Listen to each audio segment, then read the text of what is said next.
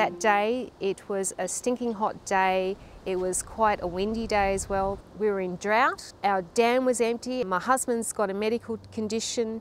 The two of us weren't going to fight a fire that's uncontrollable and unpredictable as this fire was. A couple of years ago I had a heart attack. I've got fibromyalgia, I've got spinal issues, um, things like that. Uh, 10 years ago, when every, all the dams were full and the tanks were full and there was plenty of water, I probably would have stayed and I would have died.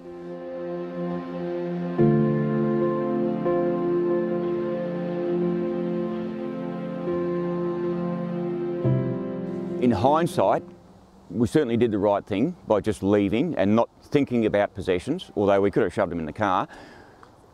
But you've got to think about your capability and what resources you have.